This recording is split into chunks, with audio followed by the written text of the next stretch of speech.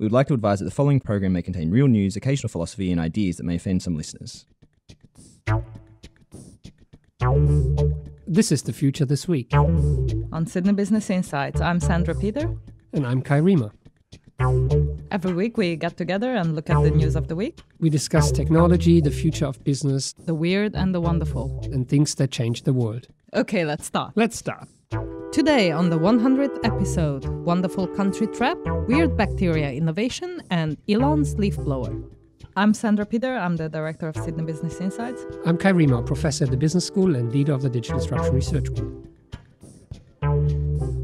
So, Sandra, what happened in the future this week? Well, 100 episodes happened. All this week? No, and not exactly 100 episodes, but pretty much 100 episodes since we first started doing the future this week. Well, if we discount all the trailers, then this is officially the 100th episode of The Future This Week. Woohoo! That was Megan, all excited. We're still here, we survived. We're still going, and we had to decide on what we do for the 100th episode.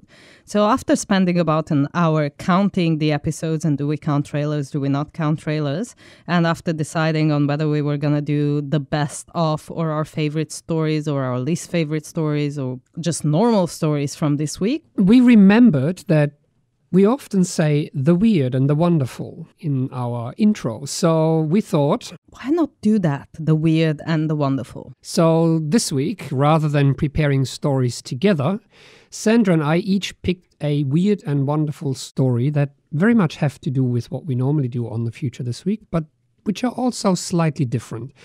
And I think your story should come first. So, Sandra, tell me, what's your story? So, let me ask you have you heard of Old Town Road? Uh, no. Actually, that's what I said the first time Andre asked me that question. Andrea Miles? Yep, we were having coffee. Andrea Miles is one of the members of our board of advice at the business school here at the University of Sydney, and she is absolutely fantastic. She's lived for a very long time in China. She's become an expert in all things Chinese, and now she runs an award winning multi million dollar startup that connects people and entrepreneurs and innovators from Australia and China. And she's one of Australia's 100 most influential women for all the work that she's done in China. And she started telling me this story about Old Town Road. And that got you interested. That got me very interested. So, Old Town Road, what's that about? Is that Silk Road? It sounds country to me. So it all starts in Atlanta, Georgia, with this guy called Lil Nas X. And Lil Nas X, in his bedroom, he's black. I think his girlfriend left him. Don't even know if that's true. The thing is, he looks back at his life and goes, you know, I'm sad, I'm lonely, I'm in my apartment, my life's like a country song. So I'm gonna write myself a country song. So that's what he sets about doing. He buys a beat.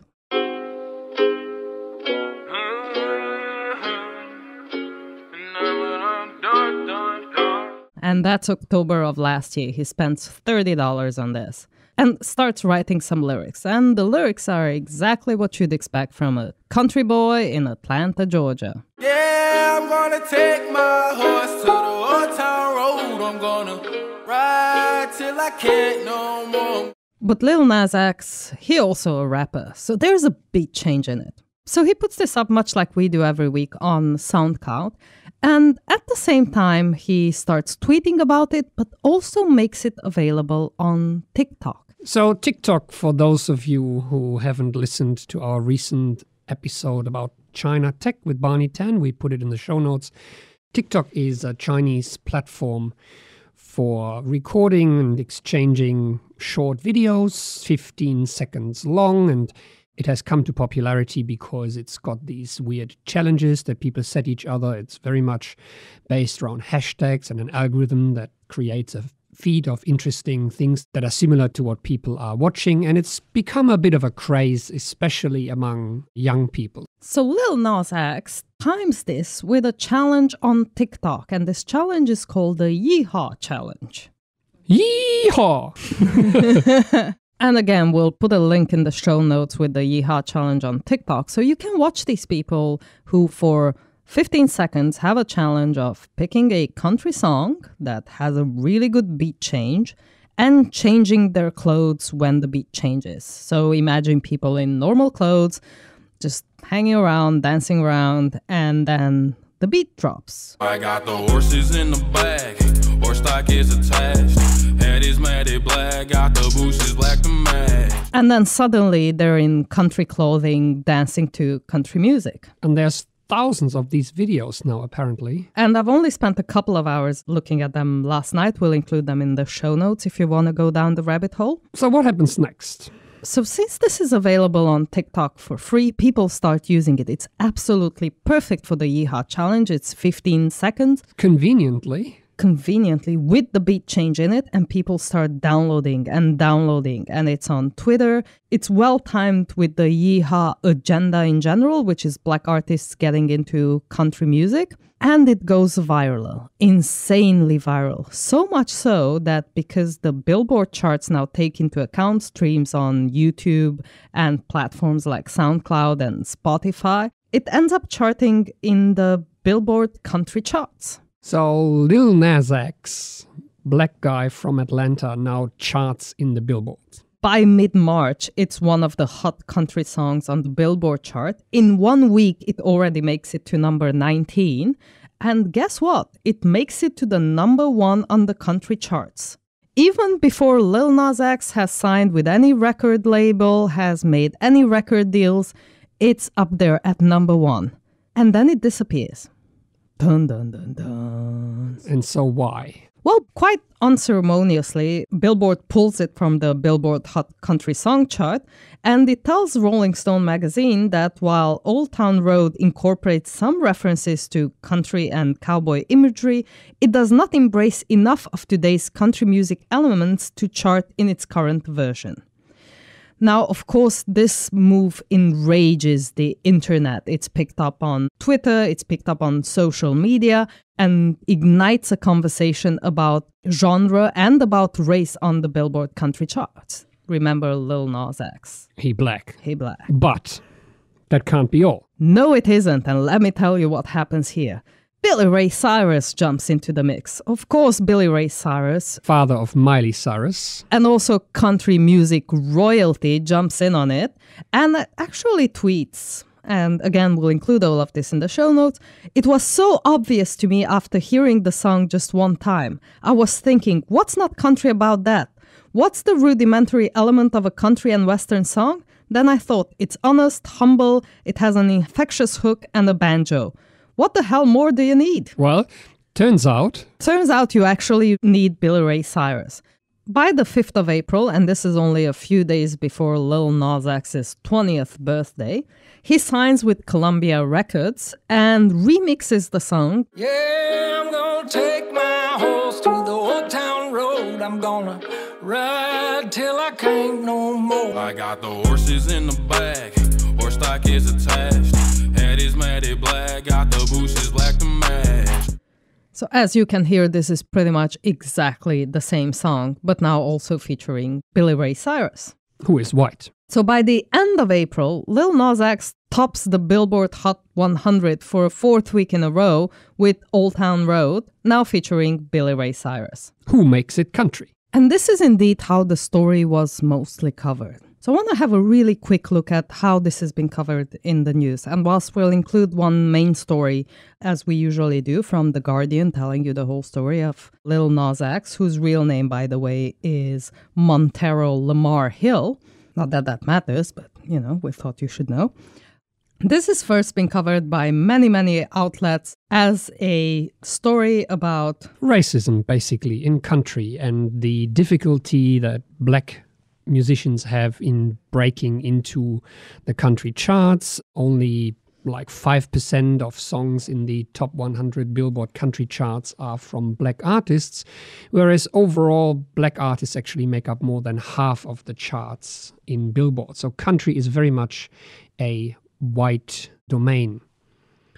And that's the main angle, right? So that indeed has dominated a lot of the stories, including on NPR and on The Guardian with country's race problem and in the New York Times.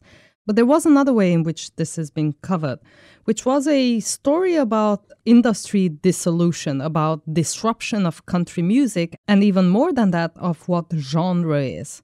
Traditionally, we think of music in genres country music, pop music, hip hop. But this song is country trap, something no one had heard of before.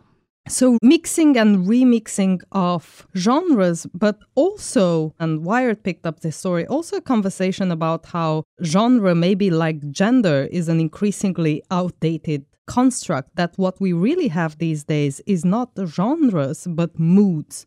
If you go on Spotify or if you go on SoundCloud, quite often you don't pick a genre of music, but a mood that you want to listen to chilled, relaxed, upbeat, or a time that you want to listen to, barbecue music or road tripping music, rather than genres.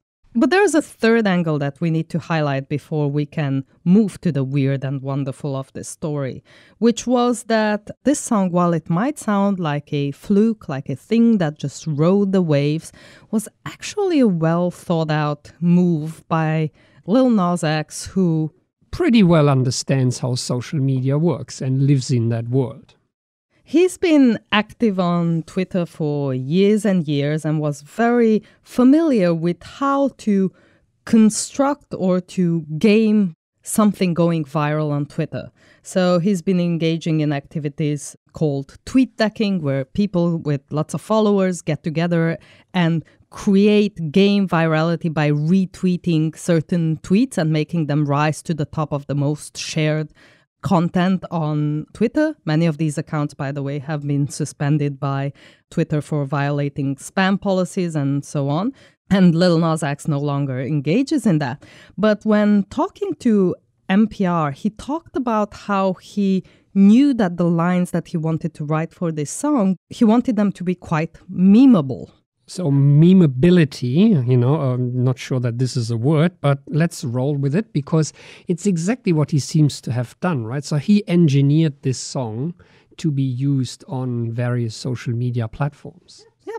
So, he talks about how I got horses in the back. It was to be a meme. And then the cowboy hat from Gucci, Wrangler on my booty, riding a horse, you can whip your Porsche, and so on. And he says these are all very quotable.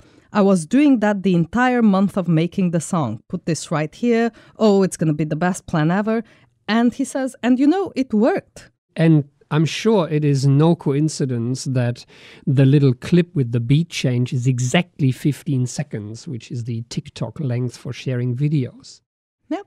So, what put this at the confluence of a number of trends that are really technology trends? The way memes spread on Twitter, the way challenges work on TikTok. But interestingly, and this is where I wanted to land with this weird and wonderful story, which is one of my favorite ones for this year, I must say. So thank you, Andrea. Is that no one really highlighted the angle of what TikTok did for this. So the reason it rose to the top of the Billboard charts was the fact that it had been downloaded millions and millions of times. And this was enabled to a large extent by a large Chinese social media platform. As we discussed in our previous podcast about TikTok, not many people know about it, or if they do, not many people know it's a Chinese tech giant. So, this is really a weird and wonderful story where different worlds collide. The world of black music and rap, the white dominated country charts, and an emerging Chinese internet platform, which, for all intents and purposes, will not be very well known among the traditional US country listeners who had such an influence in pretty much washing this song up the Billboard charts. So, thinking about disruption in the country music industry, it becomes fascinating to consider the number of digital trends that had to come together for this sort of story to emerge. TikTok, memeing on Twitter, downloading from YouTube, the fact that streaming now plays a role in the Billboard charts, and also platforms such as SoundCloud, which allow everyone to promote their own music and to feature as self promoting artists. And this is again not to take away from the quality or the catchiness of Old Town Road. It's definitely, even at less than two minutes, this is how long the song is. It's definitely one that you can listen to over and over again, and it's got a good beat and a good sound.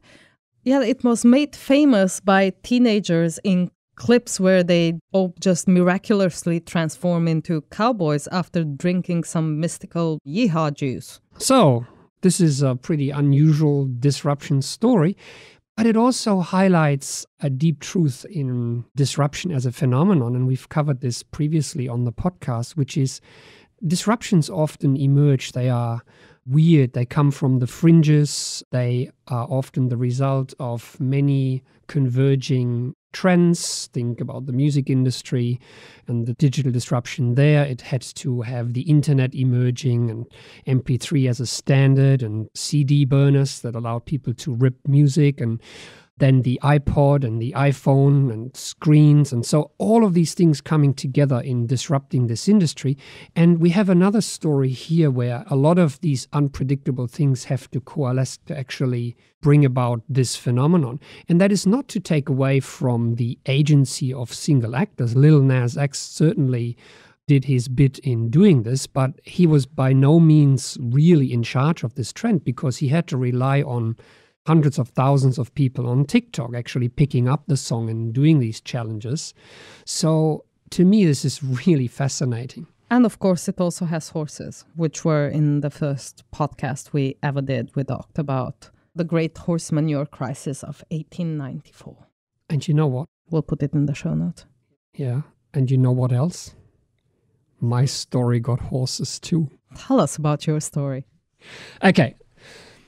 So my story is a story about horses and dirt and shit and soil and bacteria, obsession, innovation, worldviews, money, the history of an idea and the future of an industry. And ultimately, it is also about business with China again. So, before I start telling you this weird story that I came across just a couple of days ago, let me begin by saying this was published in Bloomberg Business Week. I'm just saying this because the story is rather obscure and weird. So let me put it out there that this is not from some really obscure magazine. So this story is also set in the US. It features David Whitlock, who is not 19 but 64. And he couldn't be more different to Lil Nas X because David Whitlock is an engineer, an inventor, you could say. And he's described in the article as going bald, wearing standard rimmed glasses, wearing used jeans, flannel shirts, hiking boots, and drinking coffee from a mug that hasn't been washed in about 20 years. And David is also severely autistic and quite aware of it and flippant about it. And that sort of plays some part in this story. So the story begins in the year 2000 when David had a school teacher friend, and she asked him one day why her horse would roll in the dirt, even though it was still in the cool springtime and insects weren't actually biting the horse. So, you know, her assumption being they roll around to get rid of the insects. And because he kind of was fond of his friend, he tried to find an answer. And he really got obsessed about figuring out, you know, what those horses were doing. So he tried to find an answer and started to dig deeper and do his research. And it's worth knowing here that he's got two degrees, uh, bachelor and master in chemical engineering from MIT. So this is his background. He used to have a career in the cement industry, and together with his business partner, Walter Hilly Thompson, he actually patented an environmentally friendly way of producing cement and they sold their company. So he's got this background in chemistry. And so he starts isolating bacteria from the soil that those horses would roll around in. And what he found fascinated him. He found a type of bacteria that actually derives energy from ammonia rather than organic matter, meaning that they can feed on sweat. And so he came up with this idea that, hey, maybe those bacteria could be useful in humans too. And this is where this story all takes a quite a weird turn. Tell me he doesn't roll around in shit. He does something like that. So, what he did is he isolated this type of ammonia oxidizing bacteria, or AOB, that will become important in the story, and read up on it. And it turns out that those bacteria are quite useful. They convert ammonia into nitrate, which have anti infective properties, so actually help the skin, and nitric oxide, which Science magazine actually declared molecule of the year in 1992. And quoting here, it helps maintain blood pressure by dilating blood vessels, helps kill foreign invaders in the immune response, is a major biochemical mediator of penile erections. I do not kid you, this is from Science magazine, and is probably a major biochemical component of long term memory. That's the magazine's editor at the time. And in 1998, three Americans actually won the Nobel Prize for this discovery. So what does David do with this? So David starts obsessing about this and he extracts a particular AOB, ammonia oxidizing bacteria, called Nitrosomonas eutropha, which he describes as relatively athletic, meaning it has good qualities. He builds a makeshift tank from an old aquarium and starts self experimenting. So he basically uses this bacteria and smears it on his skin. He stops showering. Turns out this stuff is pretty miraculous because he develops no body odor, no body smell, and it's gross, right? It is absolutely yes, gross. but this is in Bloomberg Business Week, right? I reminded That doesn't make it any less gross. Well, we're going places with this. Now, he obsesses so much that he starts spending all his money on patent applications to the point where in 2009 he sells his apartment and he moves into his white Dodge Grand Caravan where he, you know, Doesn't have to shower because No, he's got no. the bacteria. Exactly. So he lives out of his car, parks in the parking lot of his own employer, the cement company, where he still has an office, and really goes down the rabbit hole. Now, turns out David has good friends. So, first of all, Walter Hilly Thompson spends $600,000 of his own money and then starts raising money for his friend. And a first investor comes on board, Jamie Haywood, who is the co founder of Patients Like Me, an online info sharing network, who David gifted a tinfoil wrapped bottle with his elixir three years ago. And he basically used it on himself as well and grew really fond of the product. So, long story short, this weird story about this guy experimenting with horse poop and bacteria coincides with the development that happens in the wider world, which is an increased interest in what is called the human microbiome. So, in parallel, a whole research stream evolves, which takes an interest in how our body is actually inhabited by a lot of so called good bacteria. And so, there's increasing interest in the microbiome, not only from the research side, but also in Silicon Valley. So, the funding for companies uh, engaged in microbiome research and product development has grown from about $170 million in 2015 to over a billion dollars quite recently. So, David's weird self experimentation coincides with this emerging trend. Jamie Haywood, who raised the initial 1.4 million dollars of funding for David's ideas, has him founding a company called AO Biome, so AOB, AO Biome. And with this company, they start rigorous testing. And it turns out that one of their first products is a spray that basically can be used to cultivate these bacteria on human skin instead of using deodorant or soap. And it so happens that one of the subjects in the initial trial is a writer for the New York Times who writes an article for New York Times Magazine, which leads to a lot of inquiries from prospective customers and the company launching a cosmetic brand called Mother Dirt. Now, it all evolves from there. The company starts outsourcing its bacteria farming to India, records its first profit, and is now a $100 million startup. All of this happens at the same time as the industry more widely starts taking an interest. And this is important because we're talking about an industry now that, for all intents and purposes, has spent the last 20 years propagating the ideas that bacteria are bad. We're talking about companies who are in the business of selling antibacterial soap and dispensers and hand wash. And killing 99.9% of the germs. Absolutely. But at the same time, there is now this undercurrent of development in Silicon Valley, from inventors, from David's company, that basically propagate the opposite view that rather than killing bacteria on human skin and also in the human body more broadly, could actually be the wrong approach. That rather than killing bacteria, we need to distinguish good and bad and then start cultivating bacteria and working in restoring the human microbiome because uh, research has shown, for example, that people in Western societies only have about half the diversity of bacteria in the body that you know native tribes for example would have. And so now we have this counter movement which actually are pro-bacterial in a world where every one of us has been educated that bacteria are the bad guys right? We talk antibiotics we talk hand wash. And so AOBiome Therapeutics, the company that David founded, is now engaged in six clinical trials to treat a wide range of conditions such as acne, eczema, rosacea, hay fever, hypertension, and migraines. And it has raised its profile to the extent that it's recently been injected, pun intended, with a lot of funding from Beijing Genomics Institute. And its founder, by the name of Jun Wang is now AOBiome's chairman. And Wang says, We are thinking about how to do gold mining in the bacteria world. I got the horses in the bag.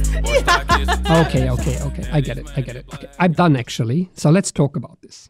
To me, while both these stories sound like there's one big genius, Lil Nas X or David Whitlock, actually underneath is a much more complex story of a confluence of digital trends, research trends, and even cultural trends that had to change or had to come together for these two to be able to disrupt well established industries and well established ways of doing things. Absolutely. I mean, the point is there could be many David Whitlocks out there who, you know, do self experimentation of some sort at the fringes of society, and many of which we will never hear from. But here's someone who followed this idea and then what he was doing converged with where broader society or this emerging industry was going. And same with Lil Nas X, who actually rode a number of these trends, viral tweets, TikTok challenges, to then come to challenge a well established industry and a well established way of thinking about that, such as the Billboard Hot Country Songs chart. And in this case here, the interesting thing is that there might actually be quite a profound disruption underway. A lot of the big well known companies in this industry, such as Unilever, BASF, or SC Johnson, they're all engaged with this industry now in quite a sort of covert and sly way by investing in startups, buying startups, or experimenting, not in an open way because their brands very much still depend on the dominant narrative of bacteria killing. Much like our conversation about the chicken of tomorrow and established meat companies buying into the clean meat, lab meat industry. Exactly. Hedging their bets, not wanting to be caught out by an emerging disruption. But it also shows that quite often new ideas, by their very nature, have to come from the very fringes of the industry or of a particular field. Lil Nas X had no ties to the country music industry, and neither did David Whitlock have anything to do with pharmaceuticals or the beauty health industry. He was basically coming from the construction industry. To me, it's also about how we think about disruption and innovation. We're very used to analyzing industries and dynamics in those industries in certain ways. So, surprisingly, things like TikTok and the Yeehaw challenge and the role that maybe Chinese tech companies would play in the Lil Nas X story really flew under the radar, yet it was integral to the way that story developed. So, the usual ways in which we think about problems or the categories that we use to analyze disruption in these industries might themselves be challenged. And finally, and that's actually what we've done on the podcast, when we look back on these stories, we often pick out the lone inventor. We tell it as a human interest story. We assign a lot of agency to Lil Nas X or David Whitlock, and we make these hero stories when in fact, so many different things have to converge, coincidences have to happen, serendipitous discoveries, a school teacher being interested in why her horses would roll around, a bored rapper who's good on social media on a whim starting off creating this song. A lot of these things are obviously not intentional, but they tend to converge to a perfect storm that then brings about disruption. And we intend to look at these sorts of stories for the next 100 episodes of The Future This Week. But we couldn't leave this anniversary episode without returning to one of our classics. It's, It's a, a Musk. Elon Musk has been in the media again. A fair bit. Among other things, and uh, this comes from CNET, Elon Musk says Tesla will make a leaf blower for some reason. What do you do when you're an inventor who has at his disposal a whole engineering team? You take to Twitter on a fine April morning and you say that Tesla is going to develop a quiet electric leaf blower, and then you throw tons of cash and young engineers at the problem and try to fix whatever annoyed you that morning. You know, if it's traffic, then you'll build a tunnel and you just start digging. No idea why you'd build a flamethrower, but Well, you know, and before we all fly to Mars, let's say thank you everyone for sticking with us for 100 episodes.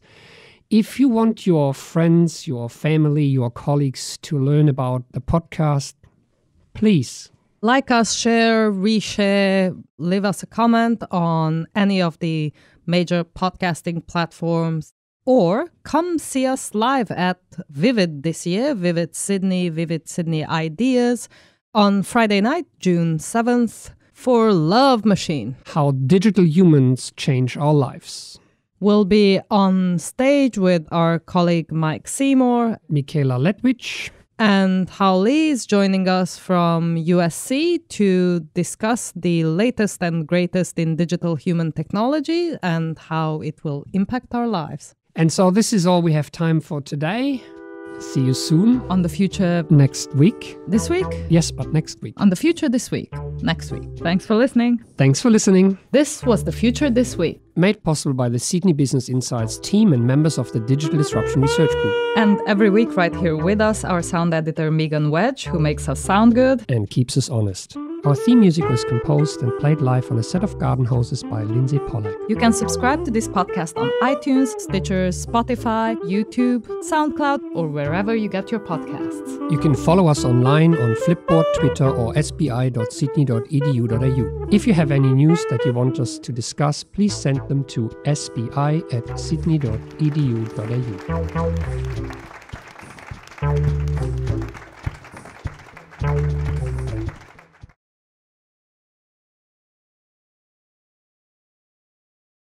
So, Sandra, what happened in the future this week? I had it. I swear I did. I had an angle. That's your Easter egg.